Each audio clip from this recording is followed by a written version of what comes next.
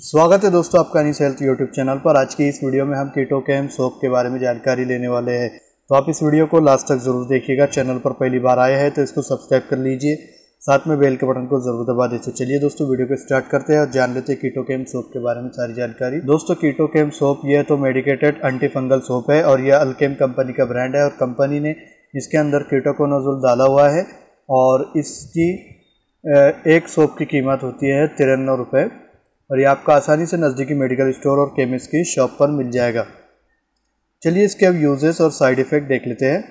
दोस्तों कीटोकेम यानी कि कीटो को कीटोकोनाजोल का इस्तेमाल, ये एंटी फंगल स्किन इन्फेक्शन में किया जाता है। उसी के साथ साथ ट्रीटमेंट ऑफ़ डेंड्रफ में भी किया जाता है। यानी कि अगर हम बात करें तो फफूंदियों के संक्रमण में, उसी के साथ साथ बालों में जो रूसी हो जाती है, उसके अंदर त्वचा का यीस्ट संक्रमण में, त्वचा के संक्रमण में इस तरह के इसके कुछ यूजेज है। उसी के साथ साथ अगर अब हम इसके साइड इफ़ेक्ट की बात करें तो वैसे इसके देखा जाए तो कोई भी साइड इफ़ेक्ट नहीं है, लेकिन ज़्यादा इस्तेमाल से त्वचा पर खुजली आने में भी इसका साइड इफ़ेक्ट होता है। उसी के साथ साथ अगर ये खाने में गया तो अपच हो सकता है, उल्टी हो सकती है, मतली हो सकती है, त्वचा की जलन भी हो सकती है और कुछ कंडीशन में दस्त भी लग सकते हैं।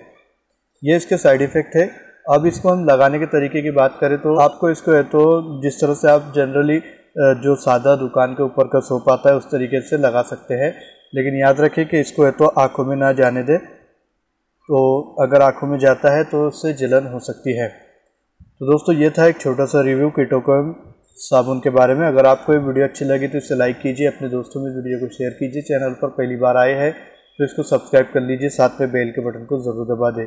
मैं मिलता हूँ आपसे अगली वीडियो में कोई नई मेडिसिन की जानकारी के साथ।